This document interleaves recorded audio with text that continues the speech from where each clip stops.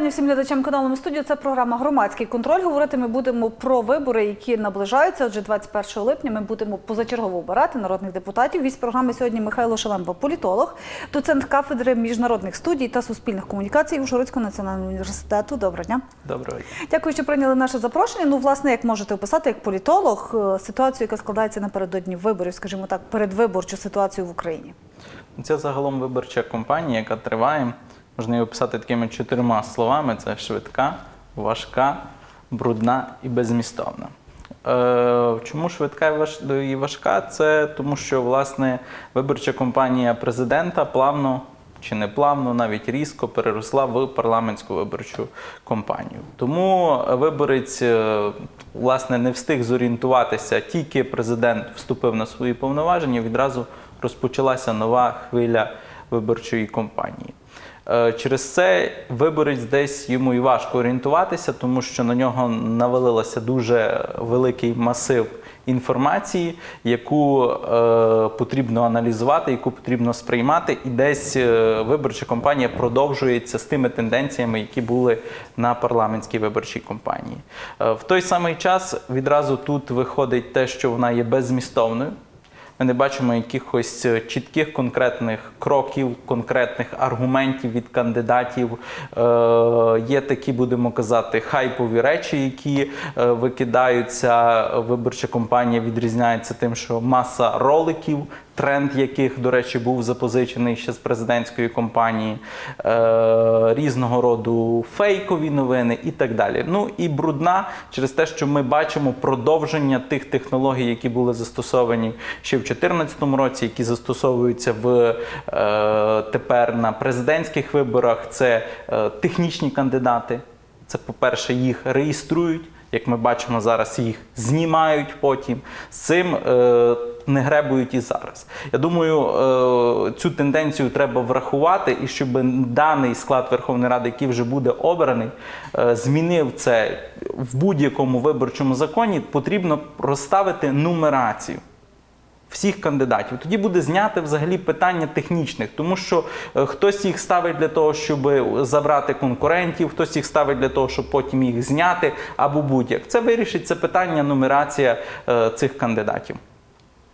Е, і власне все, якщо говорити про, про загальні тенденції, ті, які присутні по Україні. Тобто бачимо нічого нового. Ні, абсолютно нічого нового. Все так, як було. Е, Десь е, застосовуються ті старі, е, старі методи, які були прийняті. До речі, щодо технічних, чому важ- важливо, тому що ми їх можемо побачити навіть в президентській гонці. Якщо проаналізуємо вибори президента, ми пам'ятаємо Юрія Тимошенко, та його складно назвати технічним, можна дискутувати, але все ж таки його відсоток говорить, що ця технологія працює. Добре, питання виборчої кампанії на Закарпатті. Звісно, що вона швидка. Тут так само. Чи можна її теж назвати брудною, безмістовною і такою, що не принесла по суті нічого нового виборцям нашим закарпатцям, які збираються за такий йти голосувати? Так, однозначно. В Закарпатті так само вона триває в такому безмістовному полі. Е, Переважно більшість кандидатів, з якими ми зараз познайомилися, це був останній місяць. Їхні програми писалися на швидкоруч. Е, Якщо ми говоримо про тренд, про те, що виборці не читають програми, а насправді, якщо розібратися, я зараз знайомився з програмами, то там і нема що читати якщо відверто так говорити, деколи е, вписуються такі речі, які просто нереально втілити, і так далі. Тому е, це й говорить про безмістовність, і виборцям важко вибирати між кандидатами. Якщо говорити про нові обличчя, ми бачимо, що це ну повне засилля нових облич, всі на це сподіваються. Так то чи можуть вони перемогти ці нові обличчя кандидатів, які вже мають парламентський досвід? Знаєте, я е, думаю, що от під цим трендом нові обличчя ховаються е, різні політичні фігури, і цей тренд нові обличчя можна вже навіть зробити політичну партію, і вона би пройшла. Тому що треба розбиратися з кожним конкретно новим обличчям. Хто він, що він, наскільки він новий в хто політиці, за ним стоїть, і хто за ним стоїть за цим новим обличчям. Тому тут складно говорити про ці нові обличчя. Ми ми зловили оцей е, хайп минулого року, оцих нових облич, але втратили зміст. Тому що деколи нові обличчя це е, просто нові обличчя, які прийшли з певної сфери, але не орієнтуються в сфері е, політики, прийняття рішень, лобіювання певних проблем. Десь е, вони абсолютно є без досвіду цього всього. І виборча компанія це не е, той момент, де треба цьому вчитися. Можна повчитися цьому в громадській діяльності, можна повчитися цьому десь на стажуваннях і так далі, але отримати цей досвід. А виборча кампанія цього досвіду не дає. Виборча кампанія це жорстка і брудна стратегія, коли проти тебе діють, коли ти вже маєш давати відповіді на ті виклики, які стоять перед тобою. Коли ти маєш готувати вже конкретні е, законопроекти, які ти в найближчі півроку маєш реалізовувати, коли ти знаєш конкретно, які перед тобою стоять е, проблеми і виклики. Власне, якщо ще продовжити трошки про нові обличчя, скажімо так, певний відсоток нових так званих нових облич, так за якими можливо стоять старі люди, пройде у Верховну Раду. Чи є в них досвід? Чи будуть вони знати, що робити? Адже коли людина опиняється в кріслі народного депутата, все таки робити щось треба. Е, ну, дивіться, зараз, е, що, якщо говорити про е, мажоритарну складову, я дуже сумніваюся, що ці нові обличчя десь створять велику конкуренцію вже таким потужним політичним гравцям, які орієнтуються, тому що тут десь треба показувати своє обличчя. А якщо говорити про пропорційну складову, так, там багато хто зайде. Але з цих нових облич, які зараз ми багато кого знаємо вже, я не бачу їхньої діяльність. Фактично, якщо дивитися на список Слуги народу, ми вже можемо сказати, скільки депутатів прийде в Верховну Раду. Вони вже мають працювати. Вони вже можуть успішно е, з вересня місяця спочатку ухвалювати нові закони. Вони вже можуть е, десь е, вибирати і формувати, якимось чином орієнтуватися, хто буде міністром і що вони будуть робити в освіті, е, медицині і так далі. Поки що цієї діяльності немає. Так якраз хочу вас запитати, те ви кажете, що вони можуть, але чи вони зможуть це зробити? Це одне питання. Ми бачимо зараз після президентських виборів, пройшов вже певний час, так але ми ще бачимо, що немає призначені на ключові посади, якісь посили для суспільства. Ну, власне, як журналісти, ми ще не почули важливі. Дивіться, е, поки що з цим затягують. По-перше, це те, що йде виборча кампанія. 21 липня і говорити про якісь конкретні призначення однозначно не буде. Це було зрозуміло ще з інаугураційної промови, що президент буде всі, всю провину виказувати на Верховну Раду. Е, Він е, не буде намагатися якимось чином призначити ті чи інші ключові посади, е, якісь персони і так далі. Буде відтягати до того моменту, поки він зможе це зробити з контрольованою Верховною Радою. Наступне це те, що президент зараз включився в, будемо казати, агітаційну кампанію політичної партії Слуги народу. Е, з президента зараз, ну якщо технологічно розібратися в цьому, е, зробили ось е, тому, що багато хто його звинувачував у такій слабкості, в нерішучості і так далі. Ми бачимо останній. Тиждень президент став рішучий, президент став от такий собі міні-Лукашенко навіть. Цей ти встав, вийшов, тебе звільнив, в тебе який телефон і так далі. Це подобається електорату.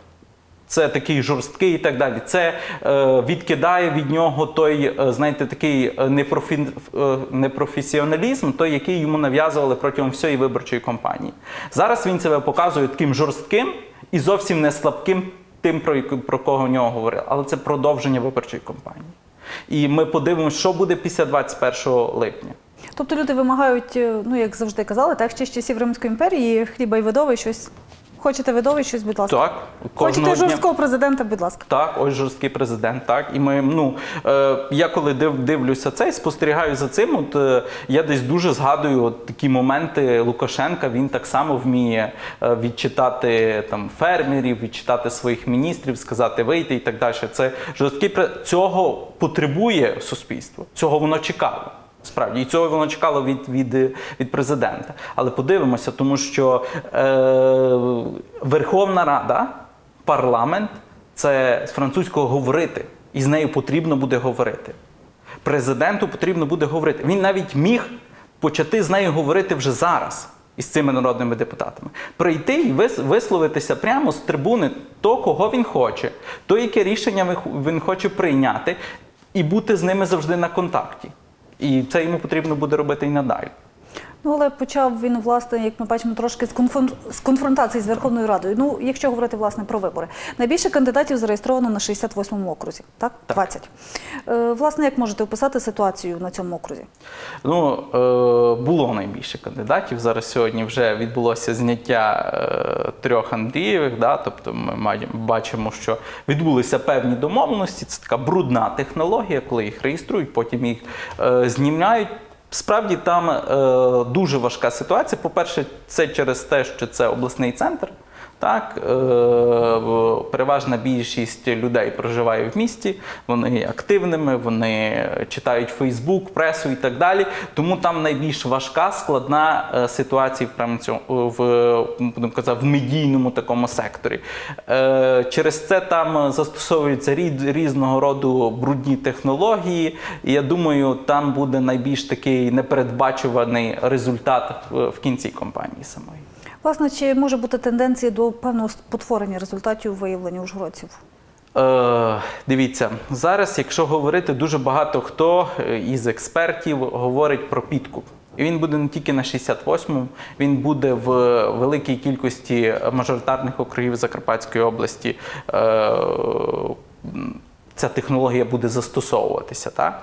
Е, з нею ми вже багато де проходили. Так? Ми вже бачили цю технологію і на минулих місцевих виборах, ми бачили цю технологію і на парламентських виборах е, і так далі. З цим треба боротися. І ця технологія може насправді досить серйозно вплинути на результат виборів у 68-му окрузі. Якщо брати е, зараз останні такі соціологічні опитування, якими, з якими я знайомий, е, десь е, лідером однозначно є зараз Горват. Так? Е, Є ще, будемо казати, троє-четверо конкурентів, які десь конкурують з ним. Тому е, останній тиждень і сам е, виборчий день е, може е, суттєво підкоригувати. Е, По-перше, е, при наявності тому, що буде відбуватися підкуп. А до цього готовий. До речі, під час соціологічних опитувань, якщо ми там називаємо десь е, технічно, говоримо про те, що кандидати готуються до цього, вони намагаються це зробити, вони таким чином можуть спотворити, та не тільки кандидати. Е, В певному мірі виборці чекають цього вже зараз. Виборець сам навчився тобто, до цього. Е, Респонденти, коли опитують, їх прямо задають: а за кого потрібно? За кого будуть давати гроші? За то і проголосуємо. І це нонсенс. Коли ми обираємо владу, а потім виходимо на Майдан і ми її знімаємо. Е, Бо вона нам не подобається. Тому десь е, потрібно говорити про те, щоб е, виборець ішов на парламентські вибори, десь аналізував і ніс відповідальність за ту владу, яку він обирає. Тобто, власне, згідно опитувань, поки що лідирує чинний депутат. Так, так, так, так. Я думаю, що взагалі е, в основну конкуренцію абсолютно в всій області будуть складати десь лідерами будуть нинішні депутати Верховної Ради. Тобто, по-перше, в них є досвід. Е, по-друге, вони вже проходили цю виборчу кампанію в тих чи інших виборчих округах. Вони знають, як її завершувати. Вони знають проблеми, вони знають, що потрібно народу. Десь в цьому плані вони більш досвідчені. Ну, але ми бачимо, що ну, власне, як багато хто каже, весь світ перевернувся з ніг на голову. Чи реально спрогнозувати результати цих виборів парламентських? Е, Я думаю, дуже складно буде. Е, По-перше, через те, що е, дуже мала явка прогнозується на цих виборах. Е, Різні є мотиви через те, що е, вона може бути е, низькою, дуже низькою і так далі. Ну, всі говорять і сходяться багато експертів на тому, що е, вона десь буде нижчою, ніж це була б е, президентська явка на виборчих дільницях. Тому е, спрогнозувати є складно через те, що застосуванням, ну навіть в останній тиждень будуть застосовуватися дуже різного роду технології. При е, тому, якщо буде е, відбуватися підкуп виборців, навіть незначна кількість голосів може вирішити долю того, хто буде представляти той чи інший округ.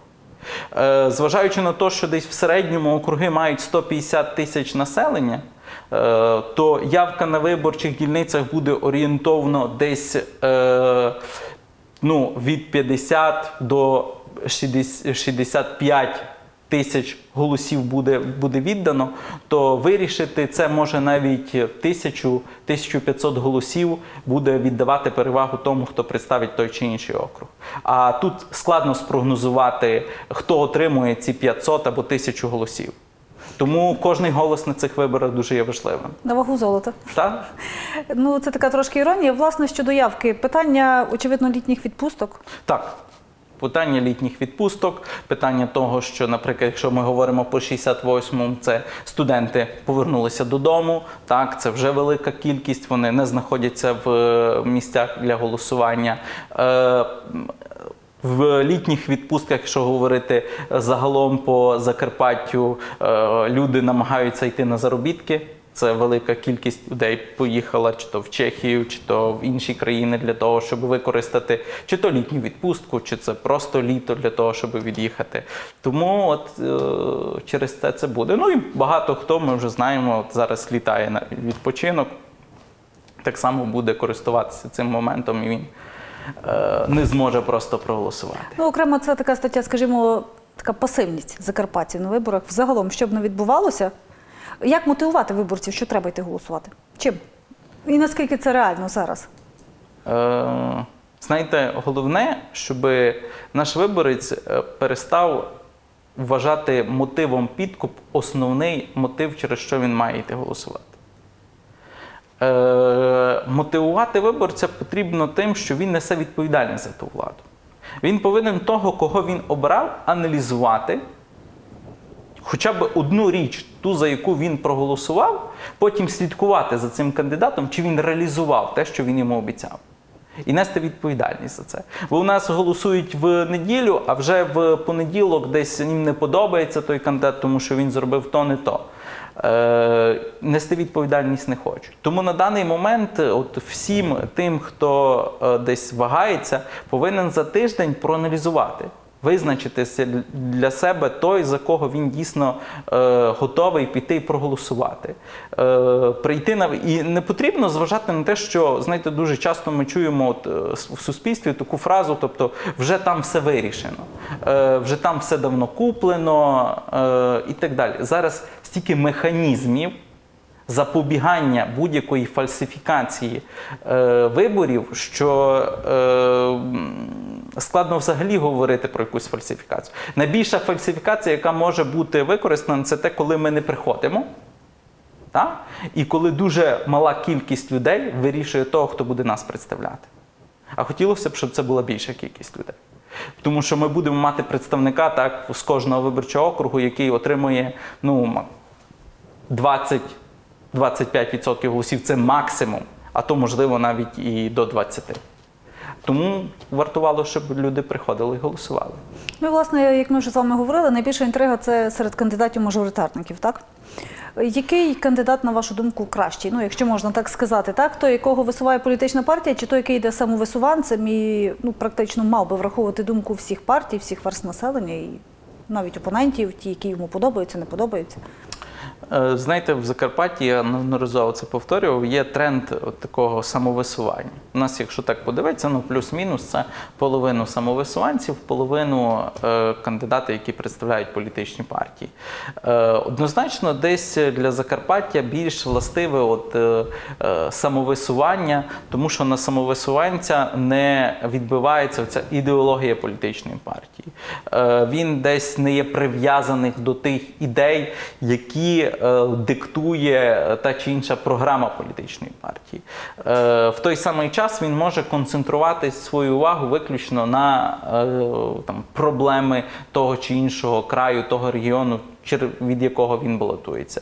І в нього немає цього засилля. Тому що десь. Рейтинг політичної партії і рейтинг кандидата е, він співмірний. І десь падіння рейтингу політичної партії може десь навіть дуже хорошого мажоритарника е, потягнути вниз. Тому однозначно, що самовисуванці вони в Закарпатті користуються такою прихильністю. Плюс е, в нас багатонаціональний край, е, є різні моменти із угорською е, громадою. Тому от тенденції вони будуть спостерігатися на е, і зараз будуть завжди на самовисування. Ну, власне, до завершення виборів залишилось чекати небагато, і сьогодні Верховна Рада ухвалила новий виборчий кодекс. Так з 2023 року всі будуть голосувати за відкритими списками. Як політолог, що скажете, наскільки це потрібно було? Ой, цей виборчий кодекс він багатостраждальний. Насправді, е- і скажу, якраз він вирішить питання от самовисування. Це буде момент, коли буде поставлено крапка в самовисуванців. Тоді, е, взагалі, депутати не зможуть користуватися цим правом. Вони повинні будуть йти з якоюсь політичною партією. Е, шкода, що десь, можливо, він не був застосований вже на цих виборах. Е, шкода про те, що він е, аж відтягається до 23-го року. І, до речі, в примітках прописано, що будь-які вибори, які будуть навіть позачерговані, будуть відбуватися за старим законом до 23-го року, до 1 грудня. Тому е, він має дуже багато нюансів. Це окремо ціла програма, потрібно говорити про цей виборчий кодекс. Якщо говорити, от, до речі, трансформувати різні аналітичні центри, робили аналіз. Да, новий виборчий кодекс на ті вибори, які були в 2014 році, то ми вибрали 8 представників від Закарпаття. Так? Якщо його б ми, ми проаналізували застосували. Багато це чи мало? Однозначно, що в порівнянні з тим, кого ми мали, то це мало. Тому що ми мали більше, ніж 8, тільки 6 мажоритарників, плюс по списках прийшло е, більше депутатів.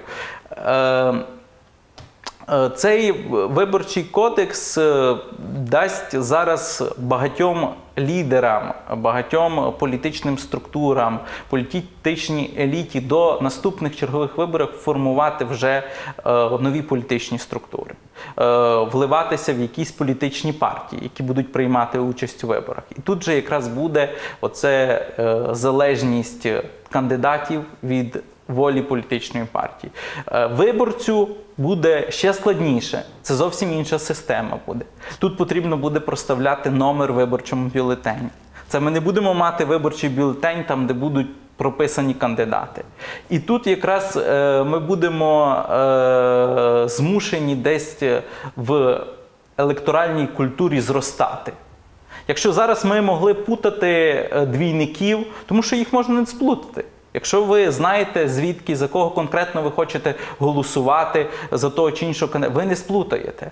А зараз потрібно буде дивитися і розставляти ну- нумерацію в виборчому бюлетені. Звичайно, будуть шукатися різного роду технології для того, щоб десь перемагати із за цією виборчою системою. Але дуже би хотілося, щоб в електоральній культурі люди так само зросли, щоб зорієнтувалися. Бо я думаю, що перші вибори через 5 років вони дуже важко дадуться е, населенню, тому що це буде новий формат. Тому що ми звикли протягом 28 років е, мати і ставити тільки галочки. А тут треба буде розбиратися, ставити спочатку е, спочатку номер політичної партії, а потім номер того кандидата, якого ви підтримуєте з регіонального списку цієї політичної партії. Ну але власне можна говорити про більшу відкритість, чесність тих виборів, які будуть через 5 років. Е, Ми можемо Про говорити те, що будемо більше знати про тих, кого нам пропонують обирати по тим же спискам. Однозначно, однозначно, ми будемо бачити про те, кого партія висуває з того чи іншого регіону. По-перше, позитивом буде про те, що партія буде в кожному регіональному списку, їх, до речі, буде 27 регіонів, буде мінімум 5 депутатів потрібно буде з регіону представити. Це вже позитив. Тому що зараз в партійних списках е, ми не маємо таке велике представництво закарпатців. Да? Навіть в політичній партії там Слуга народу тільки троє. Да? А буде обов'язок ставити їх як мінімум п'ять. Це вже позитив є. Ми будемо бачити, хто ці люди представляють цю всю партію. Хоча, якщо так розібратися, зараз ми так само, кому цікаво, відкриває сайт ЦВК і бачить кожного. Але зараз це буде більш публічно, більше для е, населення це буде відкрито. Та вони десь будуть знайомитись, будуть бачити конкретно кожного закарпатця, якого висунули з тої чи іншої політичної сили. І от, до речі, сьогоднішнє голосування в Верховній Раді говорить про те, що от е, як потрібно десь Верховну Раду стимулювати. Та? 17-го разу був прийнятий цей закон. Та? Було маса переголосованих, але він був проштовхнутий. От десь президенту потрібно от, е, готуватися, можливо, до цього. Тому що деколи дуже болісно проходять певні, е, певні законопроекти. Іти і, можливо, навіть конкретно вмовляти цих депутатів. Тому що перше читання це 2017 рік він був проголосований. До речі, сенсаційно 226 голосів, тому що ніхто не очікував. А під кінець ми маємо все ж таки, що він проголосував. І те, я думаю, його би не проголосували, якби не поправка з 1 грудня 2023 року. Е, і шкода, що е, так само місцеві вибори, е, які будуть ще до 2023 року, будуть так само за старим виборчим законом. Тому що цей виборчий кодекс включає не тільки вибори до парламенту, це й вибори президента, це й місцеві вибори і так далі. Ну, власне, про місцеві вибори вже починають говорити, і це, напевно, тема зовсім іншої програми. Що скажете закарпатцям на сам кінець, як їм не втратитися, як їм не загубитися, які рекомендації для виборців, аби їхні голоси були зараховані, аби вони справді знали, що вони за кого проголосували, і вони мають ту владу, яку вони обирають. Е, Раджу їм 21 липня прийти на виборчі дільниці. Залишити фразу про те, що все куплено, е, все і так вирішено, е, все там наверху вже і так знають. Ви вирішуєте. Народ це основне джерело влади в Україні. Тому потрібно прийти на виборчу дільницю, проголосувати і зробити цей свій вибір. Ну, неділя, можна спокійно е, це зробити. Ну і так само тиждень є для того, щоб ознайомитися з кандидатом і політичними партіями. Для того, щоб е, можливо е, не прочитати тільки е, там програму або послухати знайомих, а самому десь буквально на годинку сісти в інтернет, прочитати якісь, якусь інформацію і зробити свій вибір. Дякую вам. Дякую. Нашим глядачам я нагадаю, говорили ми про майбутні вибори, позачергові парламентські вибори, які відбудуться вже 21 липня. Тож не змарнуйте свій шанс, тримайтесь і все в нас буде добре.